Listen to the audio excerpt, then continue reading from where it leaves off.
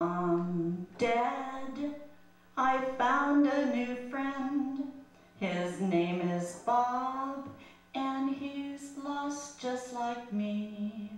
But we found each other, and we're gonna find our parents again. I'll find Bob, and he'll find his mom and dad, and I'll see you again too. But I'm happy now, a little bit again because the universe is so much smaller when you have a.